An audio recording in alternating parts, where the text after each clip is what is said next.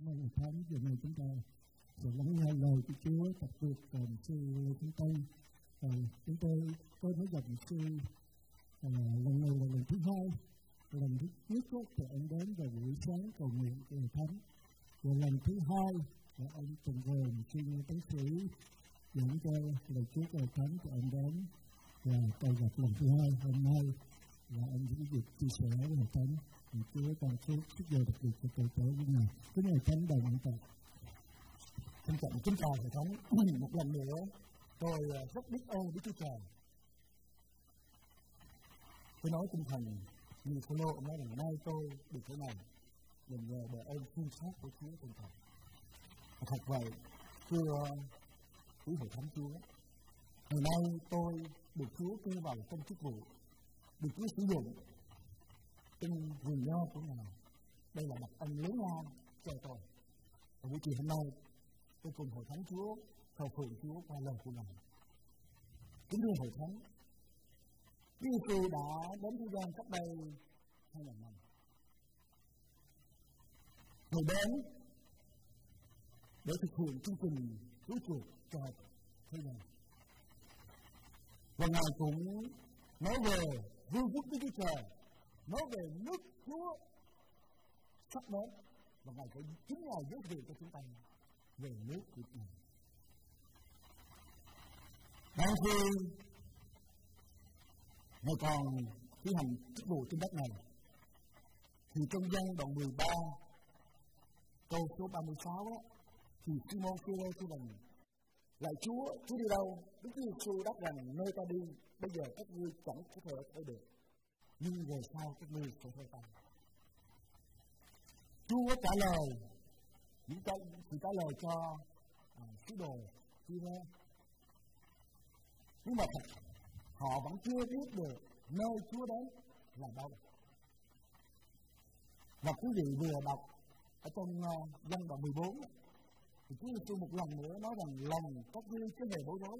Hãy tin Đức Chúa Trời cũng hãy tin ta nữa. Trong nhà cha ta có nhiều chỗ ở? Bằng chẳng vậy ta đã nói với các ngươi rồi ta đi sống sẵn cho các ngươi một chỗ.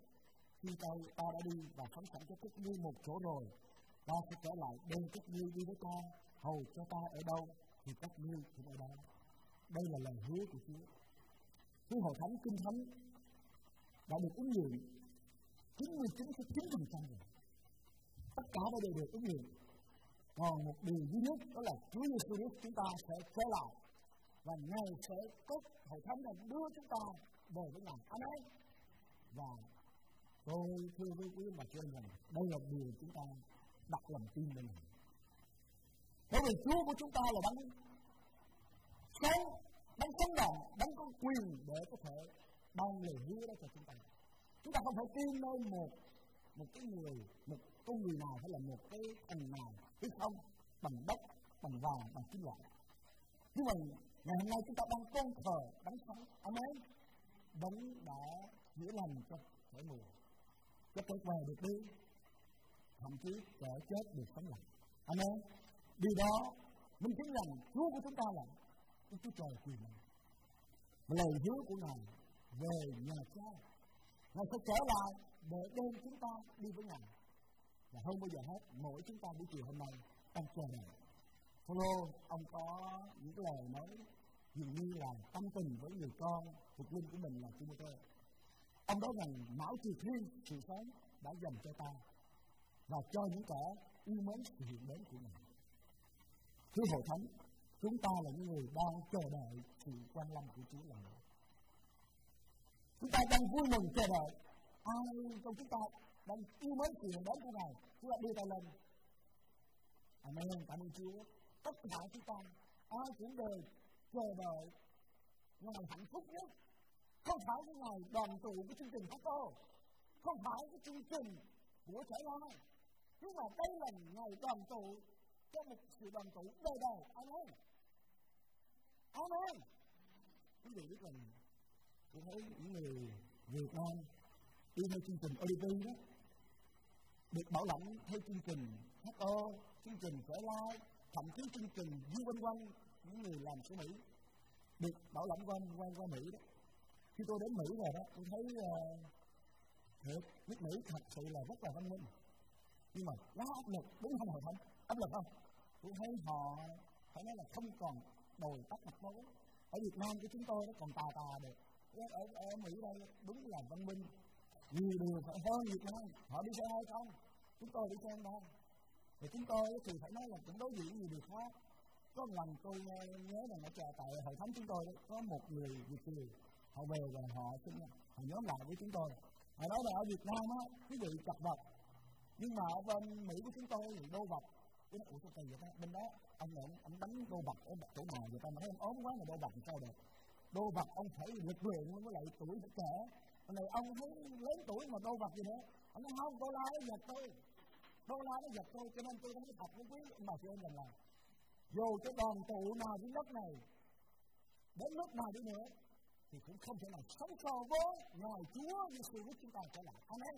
Ngài cất hội thánh đi và trong thể hiện nói rằng nơi đó không còn sầu khổ, không còn nước mắt, không còn đau đớn nữa. Mà nơi đó chúng ta được thờ phượng, được đời đời ở với Chúa chúng ta. Amen. Bây giờ nói về nhà cha, buổi sáng năm buổi chiều nay tôi à, cùng hội thánh Chúa suy gẫm trong dân đoạn 14 thì có một cái con ba với chủ đề đó là nhà cha với hai ý. Ngoài nhà cha và trong nhà cha Chúa khi Ngài đang còn thi hành chức vụ trên đất này, Chúa dùng những câu chuyện, Chúa dùng những ẩn dụ những ví dụ để nói về nước của Ngài. Và một trong những câu chuyện mà Chúa muốn minh họa, Chúa muốn đem đến chuyển tải đến cho chúng ta biết về nhà cha tại nơi đó như thế nào, chúng ta sẽ nghe một bài thanh niên đọc trong phần kinh thánh Luca đoạn 15 từ câu 1, 11 đến câu 32 mời cô Luca đoạn 15 từ câu 11 cho đến câu 32 nghe lại kể tiếp một người kia có hai con trai người em nói với cha. Thưa cha xin chia cho con phần tài sản thuộc về con. Và người cha đã chia gia tài cho chúng. Chẳng bao lâu người em tóm thu hết của cải và đi đến một nơi xa. Ở đó nó ăn chơi phóng đẳng phung phí tài sản mình khi đã tiêu sạch của rồi con phí xảy ra một nạn đế lớn và nó bắt đầu lâm vào cảnh tính thiếu nó phải đi làm miếng cho một người dân bản xứ và bị sai ra đồng chăn heo nó ước ao lấy vỏ đậu của vua ăn mà ăn cho no nhưng chẳng ai cho Bây giờ nó mới tỉnh ngộ, tự nhủ, biết bao nhiêu người làm miếng cho cha ta được ăn bánh dư dục mà ở đây ta phải chết đói. Ta sẽ đứng dậy trở về cùng cha và thưa với cha. Cha ơi, con đã phạm tội với trời và với cha, không xứng đáng gọi là con của cha nữa.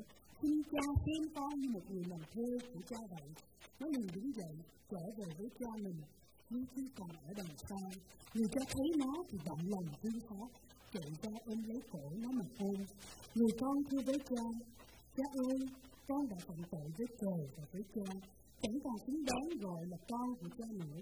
Nhưng người cha bảo các từ tế, hãy mau lấy áo tốt nhất mặc cho nó, đeo những bàn tay, nên giày vào chân, hãy bắt con đeo mọc làm thịt, chúng ta hãy ăn mừng, vì con ta đã chết mà bây giờ lại sống, đã mất mà bây giờ tìm lại được, rồi họ bắt đầu ăn mừng.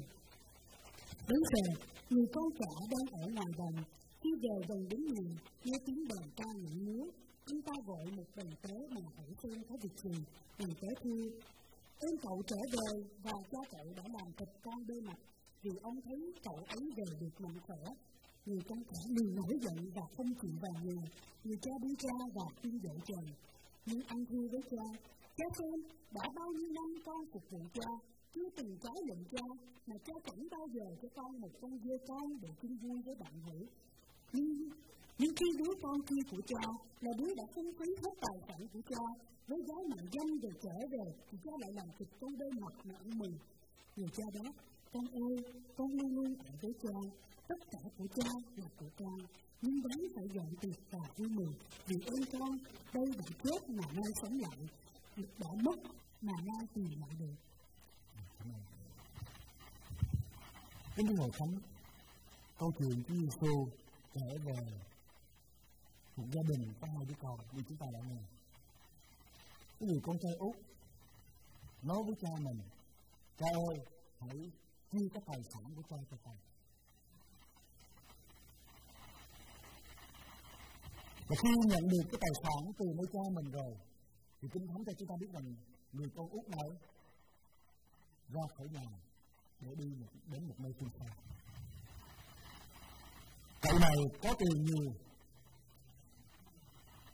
tiêu xài thoải mái, phú phí và thậm chí, kinh thánh nói rằng ăn chơi hăng đàn tiêu sạch hết tất cả. Và khi không còn nữa là tiền nữa rồi, thì đâu còn ai chơi với mình, đâu còn ai có thể trọng mình hơn nữa. Khi chúng ta có tiền, lời nói mình nó trở nên trọng lực. Ông chàng được nhiều người phủ vây mình. Những thứ hội thánh khi anh chàng xài hết tiền không phí hoang đàn chót cái. Thì kinh thánh cho chúng ta biết rằng, đang lúc đó thì cái khí đó xảy ra cơn mới cháy anh chàng tưởng chừng như mình lúc nào cũng phải ở trên một cái địa vị để được người khác tôn trọng mình hơn bởi vì mình có tiền.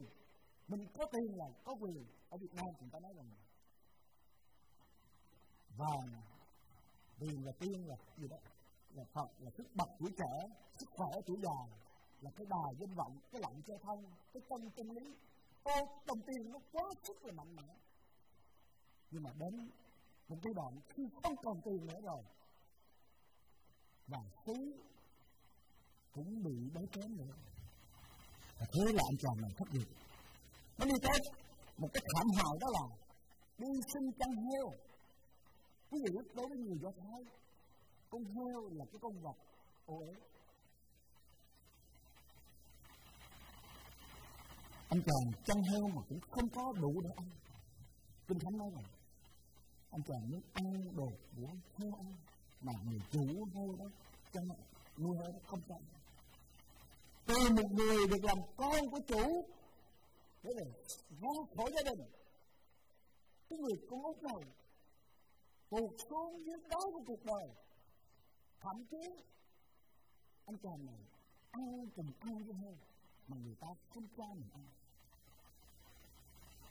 hiểu không khi người con út này ra khỏi gia đình.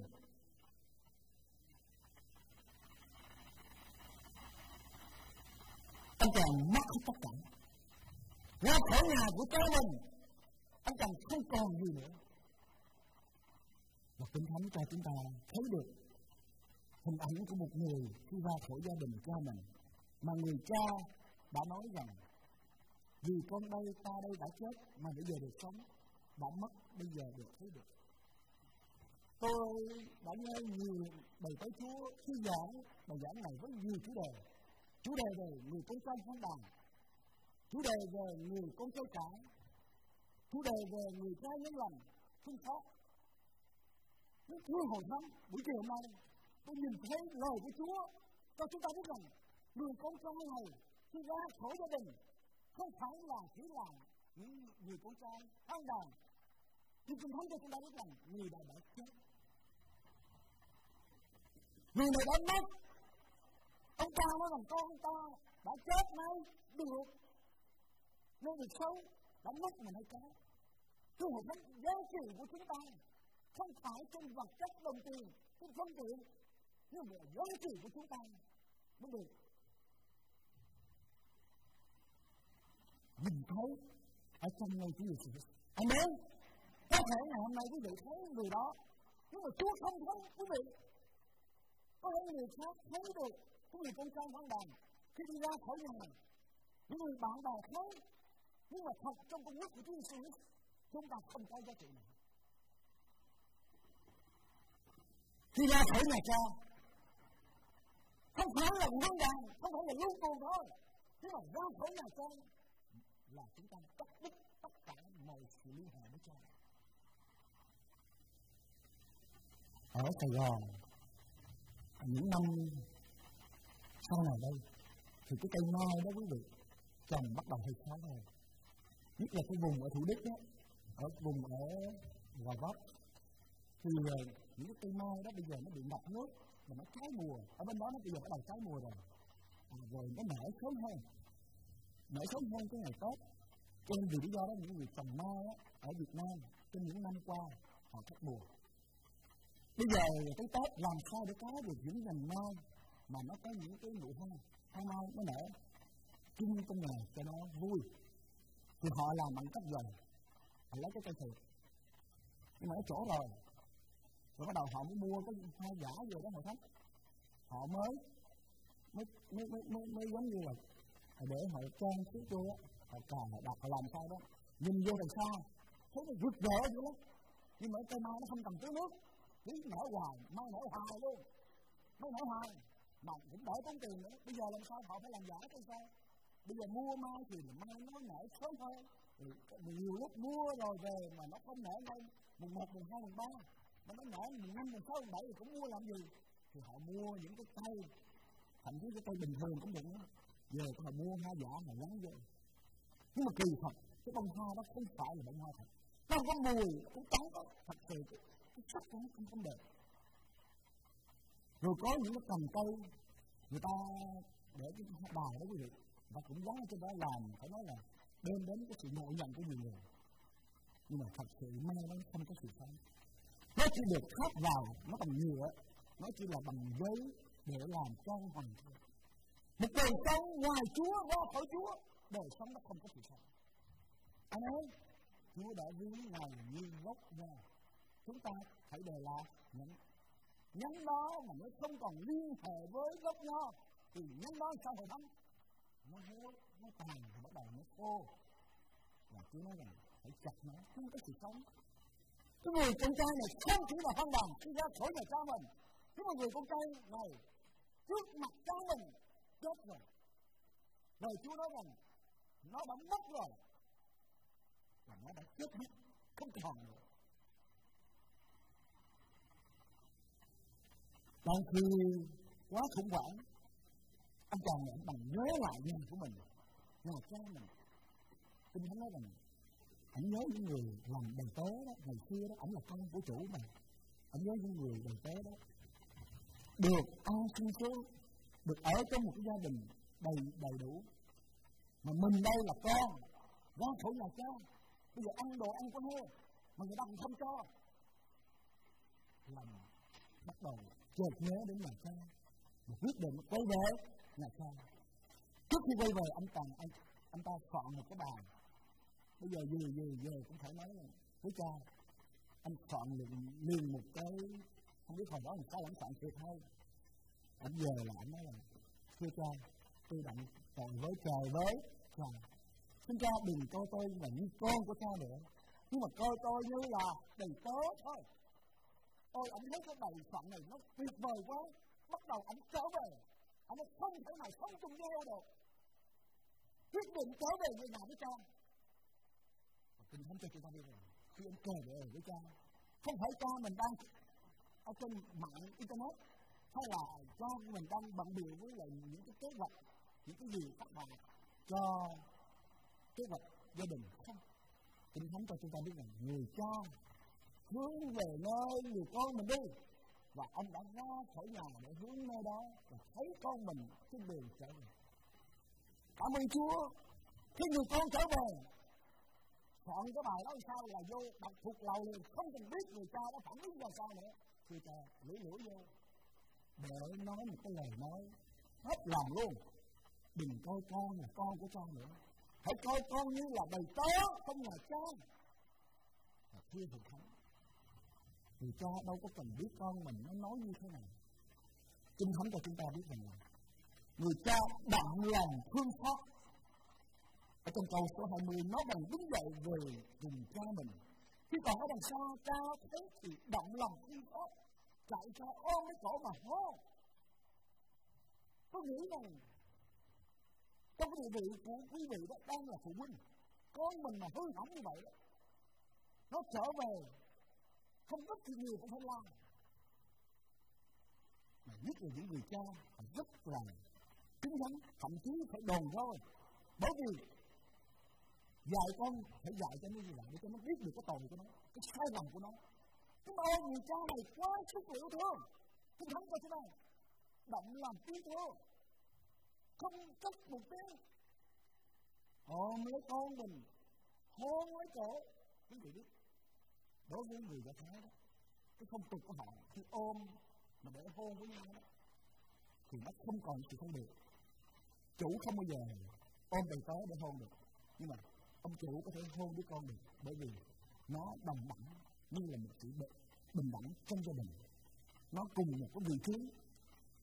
Cho nên, khi người con ra khỏi nhà cha người con sợ hãi, nhưng mà khi người con trở về, thì người cha vẫn ôm lấy con mình.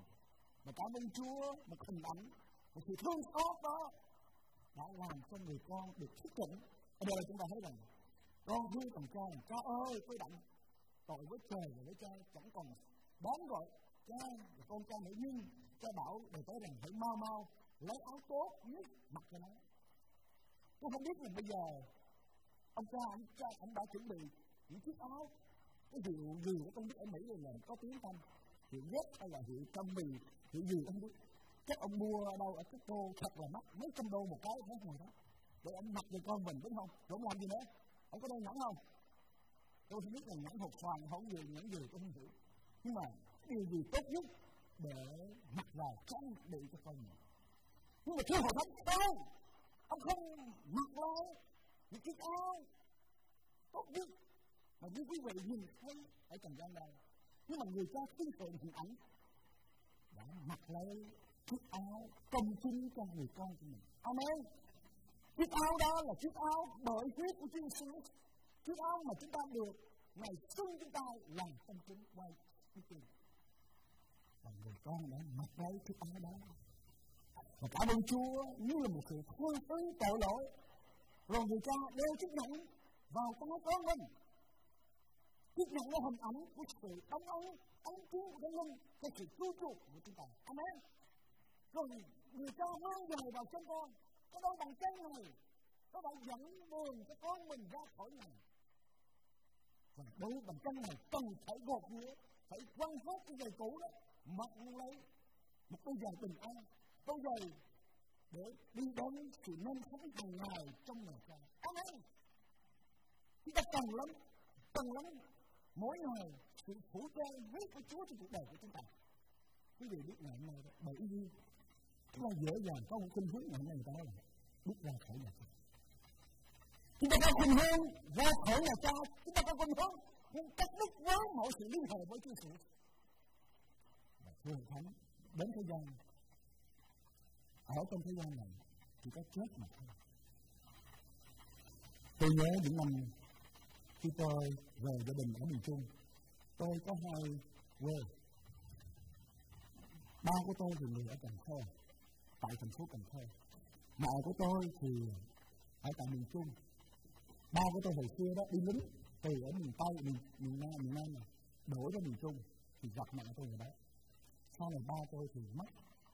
Chúng tôi sau này từ ở miền Trung, tôi được đưa vào ở tại Cần Thơ, để nơi đó tôi được đi học. Tôi được học ở tại trường Thanh Thánh Giảng. Tôi lên cấp ba tôi cũng học được trường đoàn thị điểm, những cái trường phải nói là trường điểm lúc bây giờ. Mà ngày xưa khi tôi học năm ờ, 80 đó thì, thì lúc bây giờ là người ta gọi là cái tỉnh Hậu Giang sau này đổi thành ra thành phố Cần Thơ quý vị không? Ông ngoại tôi tên Chúa. Đầu tiên ông cố tôi chứ những năm tôi làm đến à, Việt Nam đó, thì ông cố tôi đã tin lành Chúa. Ông ngoại tôi hầu được Chúa. Mẹ tôi cũng được học trường kinh thánh. Dường như gia đình bây giờ mình nói nhanh người ta nói đại gì đó? Là dòng đạo dạ là dòng tôi cũng được sanh trưởng trong gia đình có đất nhưng mà quý vị khi ở trong gia đình đó tôi được về từ cái tuổi thiếu niên tôi học cấp hai cấp ba ở tại cần thơ đó. Ô tôi xa nhà rồi quý vị tôi tự do đâu còn ai mà mặc dù về với nội nhưng mà không có quản lý được ở miền trung tôi đâu có bao giờ thấy cái, cái rượu mà nó hơi màu hồng hồng. Tôi thấy rượu màu trắng. Tôi xuống bên kỳ tôi nói ủa sao kỳ vậy ta? Cái cây người ta nói rượu rượu mà không có màu hồng đẹp quá rồi tôi hỏi họ họ nói rượu nó than mà tôi thấy rượu sao mà bỏ nước đá nó uống nữa. Tôi cũng như là mình tuổi tò mò, mình uống thử quý vị biết không về không được. Cái nó sao về không được? Rồi bắt đầu, cũng không dạy thuốc thôi nhưng mà biết hồi đó biết ném rượu đó về rồi đó. Rồi tới cái điếu thuốc điếu thuốc hồi đó là điếu thuốc không hút ai mà biết, thời gian đó lâu lắm. Tôi thấy mấy người bạn đi học, nó hút thuốc, cái nó nói, hút thử đi không sao hết trơn. Mình phải ra cho thanh niên còn bên nội tôi đó, người công giáo phải nói mày nghe mày không có ấy để trong sớm trong làng này đang nước mày phải biết uống thuốc cứ uống rượu chứ, cho nó ra đàn ông chứ. Tôi mới tuổi lớp lớp chín, lớp mười mà đã cho tiền tôi út út uống rượu. Quý vị biết không? Khi tôi hút út, nó say mà mầm tôi hút say ơi là say say mà tôi phải ngồi nằm trên cái cầu gạch bằng đó. Ở ngay ai mà ở biết không biết tôi nằm trên cái cầu gạch bằng. Đến nay hết say tôi bây giờ được rồi lần ngày trôi qua tôi có những người bạn trên học quý vị không đi học xong về không ăn cứ học, học sinh với nhau bố năm thằng hữu nhau cứ đi nhậu không. Ngồi ở dưới cái giường dừa nó mát ơi là mát để không nó có giận làm đồ nhậu cái đó nhậu xong rồi đó còn học nữa. Quăng cũng tập đó mà không gọi khác thì cứ vậy đó còn tên cái giận tôi vẫn còn nhớ một lần cái gì biết thuốc khi tôi hút á cứ vị không say với nhau mà tôi cầm biết thuốc á thay vì cái đầu tàn á, mình phải đưa cho miệng tôi lộn tôi đưa cái đầu đầu lửa cho miệng. Tôi uống rượu quá quý vị biết không? Trong nhà bạn tôi đó, nó có gạch hồi xưa là gạch đông nhà họ bán bán quán anh em uống nhau. Tôi sợ ói ra cái nền nó nó kỳ cũng còn tỉnh. Tôi định cái đường này thì cái lỗ mũi nó cào rượu ra thêm hai đường mũi cái tôi đọc được cái bài kinh thánh này. Ô tôi nhớ lại hình ảnh tôi ngày xưa. Tôi, tôi can nhà của tôi rồi. Tôi trở nên hư hỏng. Tôi trở nên hư hỏng. Tôi cảm ơn Chúa biết bao nhiêu khen với Chúa Trời đã cứu tôi. Tôi đi làm thứ lại cho chị tôi ở trong cái sâu, Quý vị biết thúc về tình ờ, cái lần Hồi đó năm đó năm lớp 11 Chị tôi với Cần Thơ, chị tôi lấy hơn chị, chị Phúc tôi là, là, là, là, là, là mẹ của bác Hằng ở đây. Thì chị tôi mới nói em ơi chị giờ đang bán ở chợ Thanh Tiến thôi em đi làm à, chị nha đi làm ờ, thủy lợi đó. Hồi đó những năm tám mấy bắt làm thủy lợi tôi nói dạ tại mùa hè mà được nghỉ quý vị biết không tôi đi làm thủy lợi người ta sắm xuống rồi mình ôm mình quăng với nhau. Trở mình cái vứt quăng quăng trường trường để đào mương thủy lợi đó. Dẫn nước vào trong ruộng. Khi tôi làm buổi trưa một tốt thanh niên họ là người ở đó mà. Họ bơi qua sông sông lớn dữ lắm. Đầu tiên đi trên cái cái dừa bắt qua xuống sông đi qua bên kia. Tôi đứng bên này tôi thấy sao mấy anh này đi sao cái đầu cái lầu hoài qua tới bên kia. Tôi mới ủa sao kỳ ra cái cây dừa gì mà từ bên này nó dài qua tới mà dữ vậy? Bắt đầu tò mò bước cái cây dừa. Tôi đi xuống đi hết cây dừa cái bị biết cây gì sao không? Nó học xuống rồi tôi, mà tôi đâu biết lỗi wow mình nước lớn lên rồi. Quý vị ơi cảm ơn chúa khi học cái giò xuống này bắt đầu phải nói là giữa cái sống và cái chết mắt thì mở ra mà tôi thoát nước tôi thấy hình ảnh cái dừa đó nó lờ mờ trước mắt mình. Tôi ôm cái dừa xong tôi uống một ruột nước kia nó khỏi ăn cơm tôi láng tôi chờ mấy anh ở bên kia đó anh tắm xong anh lên dừa anh hái dừa bên kia anh qua. Tôi hỏi nhỏ anh anh ơi, sao mà anh đi qua bên kia? Xong cái cổ anh cứ lòi hoài vậy mà sao anh đi không được?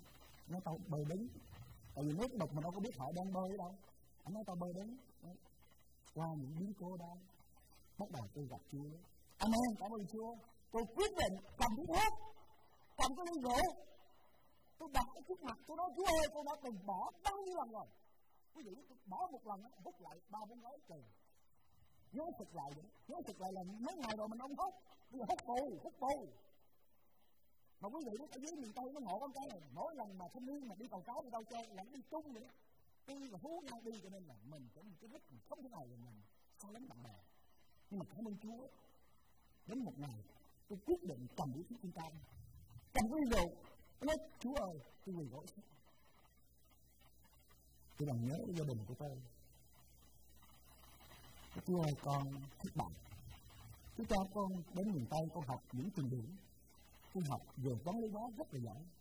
Nhưng mà con thất bại cho ơi, Con xa cách này Tôi cầm điếu thuốc lên, Tôi nói, thưa Chúa, con biết con yếu đuối, không thể bỏ bỏ ba bốn lần thuốc con bỏ được mà năm này mới có lớp 11 một, năm 81 tôi để cái thuốc của tôi tôi nói, chú ơi, con trà nó với trên mà con hứa với chú một điều, nếu con cầm cái thuốc này, con để cái môi miệng con rồi nữa, con tương đương với tội giết người wow, một lần thứ cái tới giờ này mấy chục năm trôi qua, tôi cầm cái ly rượu, tôi quăng nó xuống dưới cái mương ở bên kia. Mà cảm ơn Chúa, từ ngày đó Đức Chúa Trời đã cứu tôi. Anh ơi Chúa cho tôi sự tự do và cảm ơn Chúa Chúa Đức Chúa Trời đã sửa soạn cho tôi trong chức vụ để rồi tôi kinh nghiệm được tình yêu của Chúa. Và khi tôi đọc trong khi trong Luca đoạn 15 có người con trai ban đầu này, cảm ơn Chúa khi quay trở về. Thầy Thánh ơi, ông chàng này chưa làm cái gì hết. Về không làm cái gì cho hôm nay làm cũng được ba năm năm năm. Khi vô quốc tịch đàng hoàng ha, có income in chút gì đó đầy đủ, mua xe hơi, mua nhà rồi bắt đầu cho mình mới làm việc mình. Không! Chúng con về nhà kinh thánh của chúng ta biết rằng người ta ở ngoài hướng về con mình luôn luôn vì vậy mà con khi con mình trở về ông không ở trong nhà để mà hút con mình đâu ông ra ngoài ông nhìn thấy con ôm lấy ông đã mặc chiếc áo tốt nhất ông đã đeo chiếc nhẫn vào tay con mình một điều gì bởi cái mình bởi sự ấn chứng sự cứu chuộc anh em chiếc áo công nghĩa công chính đó rồi được phủ lên con một chiếc giày bình an đi. Đi trong sự thánh khiết và cảm ơn Chúa, người con này. Amen. Chúng ta thấy phúc hạnh không? Khi ra khỏi nhà cha, bắt. Thế gian thấy đó, tồn tại đó, nhưng trước mặt Chúa không có gì hết. Bởi vì con ta đã chết, nay đã sống, đúng không? Đã mất gì được trước mặt Chúa Chúa hội thánh. Nếu chúng ta ở thế gian này, chúng ta được cả thế gian này, nhưng mà trước mặt Chúa, linh hồn chúng ta không có gì hết bây giờ chúng ta thấy người con con trai cả ở đâu? Ở đây trong nhà phải không? Chúng ta coi phần kinh thánh kinh văn chúng ta này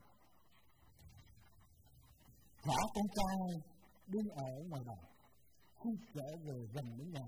Nghe tiếng đàn ca nhảy múa mình gọi một đầy tớ mà hỏi có gì? Đầy tớ thấy rằng em cậu bây giờ trở về. Nên cha cậu đã làm thịt bò con mập vì thấy em về được khỏe mạnh khỏe con cái liền nổi giận, không muốn vào nhà. Vậy cha nó và khuyên nó nhưng nó thưa với cha này tôi giúp việc cha đã bấy nhiêu năm chưa từng cái phép, mà cha chẳng hề cho tôi một con dê con bằng ăn chơi với bạn hữu tôi. Nhưng nay con của cha kia là đứa đã ăn hết gia tài cha với phường lý đứng rồi trở về. Thì cha, vì nó mà làm thịt bò con mặt vì cha nói rằng, con ơi, con ở cùng cha luôn hết thảy của cha tài của con như cha, như học nên dọn việc và vui mừng vì ơn con đây đã chết mà sống, đã mất người thế được khi hội thánh bối cảnh, khi người ơn trở về cho vui mừng, tất cả gia đình vui mừng thế nào thì người anh kinh thánh cho tôi đây đang ở ngoài đồng người anh trai cả đang ở ngoài đồng người đó đang làm việc cho cha mình, đang làm nhưng mà đang ở ngoài. Nghe, ở trong này múa hát. Nói chung là những cái âm thanh rất là rộn ràng với mình. Mình hỏi một người thế và biết rằng là người ơn của mình nó còn phải đây thì kinh thánh cho chúng ta biết rằng người anh vui mừng không? Vui hồi không? Dạ không. Người anh này rất là nổi giận. Nổi giận vì sao mình một cái thằng em vui đốn như vậy? Đi hết gia tài mà cha mình mà đối xử với nó. Như vậy mình đây là cái kẻ làm cho cha. Suốt ngày không làm gì gì hết, mà cha không bao giờ làm một cái con dê con chứ đừng nói là con bà con.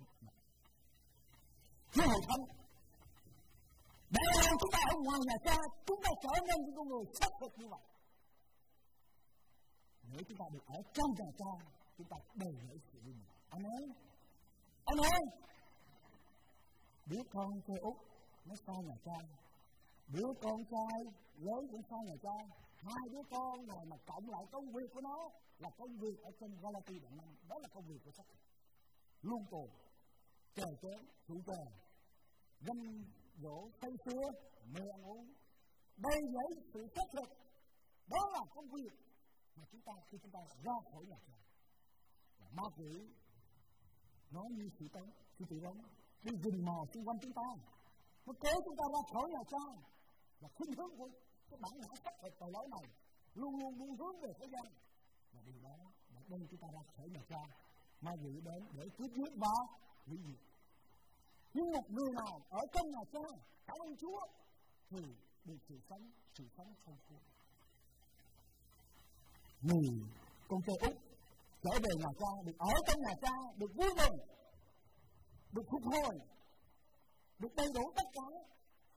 Nhưng mà đứa con trông trả nổi giận không muốn vào nhà cha. Tôi không biết buổi chiều hôm nay quý vị đang ngồi tại đây quý vị đang có phải là anh cả?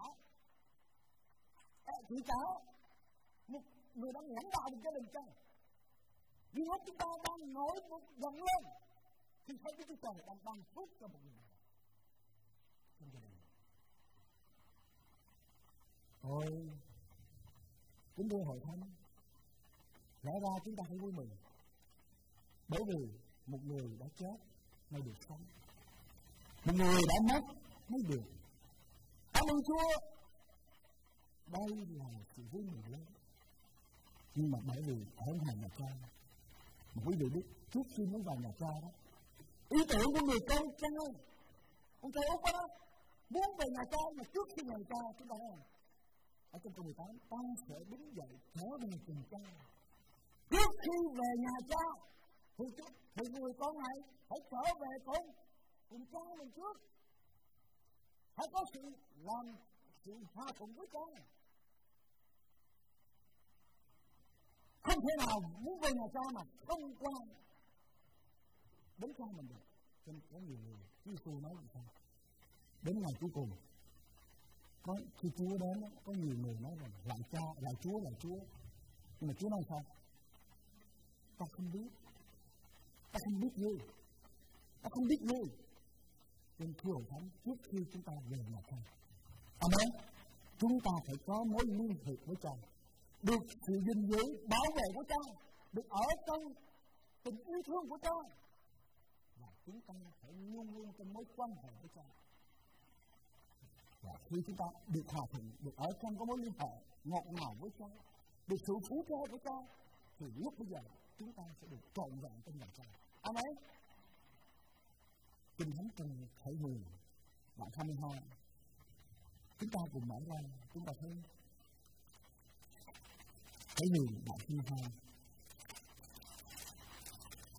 có ba ứng nhất ba lần mà lời Chúa cho chúng ta à, thấy được à, về vấn đề sự mau cướp trở lại à, ở trong đoạn 22 câu 7 kia ta đến mau chóng kia ta đến mau chóng.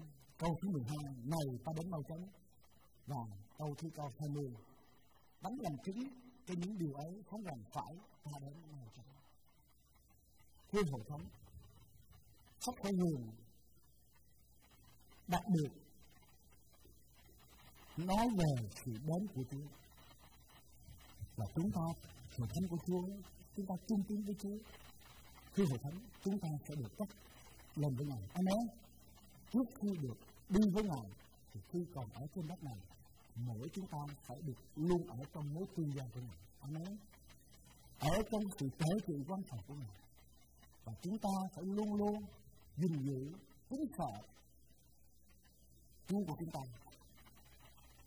Nếu chúng ta ra ngoài nhà cha chúng ta không còn ở trong mối liên hệ với cha, thì hồi thánh chúng ta đã chết mất rồi.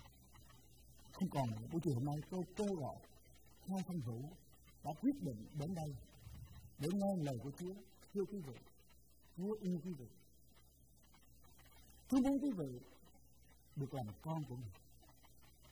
Chúa xin nói rằng, ta đến cho chuyên được sự sống và sự sống bây giờ.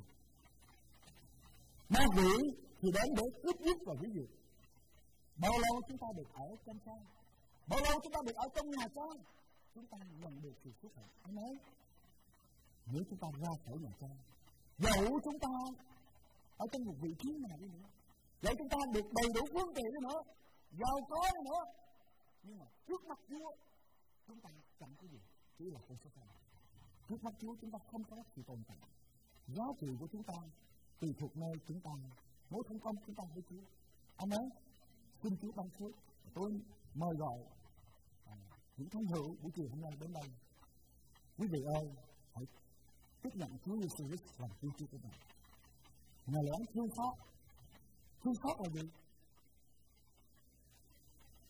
Chúng ta làm chậm làm tội làm sai lẽ ra chúng ta phải chịu những sự hình phạt những sự xử phạt của mình. Nhưng mà Chúa tha thứ, Chúa không xử phạt chúng ta. Đó là phương pháp của mình. Buổi chiều hôm nay, biết bao nhiêu năm tháng chúng ta rời khỏi nhà cha, Chúa muốn kêu gọi chúng ta hãy trở lại với Ngài. Amen. Để chúng ta được làm con của Ngài và Chúa, là Chúa của chúng ta. Chúng ta được làm con của Ngài, được ở trong Ngài, và chúng ta được ở trong nhà cha của chúng ta. Chúng mời Thánh Chúa chúng ta cùng đứng dậy chúng ta cầu nguyện tôi mời gọi ai giờ này sẵn lòng để đón tiếp, đón nhận Chúa Giêsu Christ làm cứu Chúa là cha của chúng ta. Ngài không lấy mắt mặt giận mà nhìn chúng ta.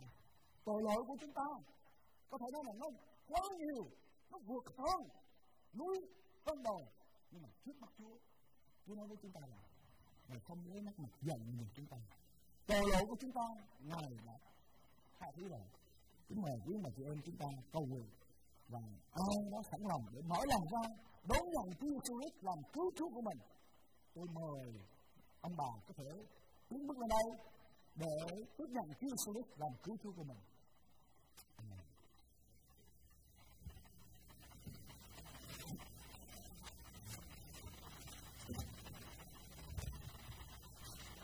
Thưa Hội Thánh, đây là cơ hội, đây là thời gian rất là quý báu. thế là thời kỳ ân điển, thời kỳ của sự cứu rỗi. Chúng ta xuất từ Chúa, tức là chúng ta xuất từ sự sống. Xuất từ Chúa, chúng ta đánh mất tất cả mọi sự. Nhưng mà chúng ta đón nhận lấy Chúa. Chúng ta tìm về với Chúa. Bởi vì Chúa Jesus Christ Ngài đã đến. Và Ngài nói rằng Ngài đến, Ngài tìm cứu những kẻ có tội để Ngài ban sự sống. Cho nên tôi một lần nữa kêu gọi để rồi chúng ta biết ơn một bước một bước ngắn ngủi của chúng ta mà nó quyết định sự sống đời tôi mời gọi và mời chú mời cô lên đây. Và à, mục tiêu của chúng tôi sẽ cầu nguyện cho quý vị. Trở về nhà cha là chúng ta được phục hồi amen chúng ta được đầy đủ mọi sự.